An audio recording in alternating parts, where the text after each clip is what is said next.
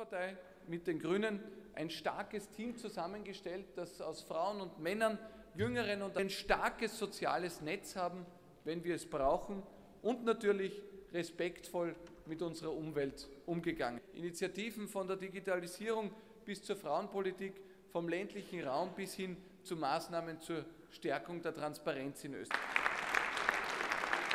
Jetzt ist er mit seinem breiten Wissen und Engagement. Damen und Herren, auch ich möchte gleich zu Beginn meiner Rede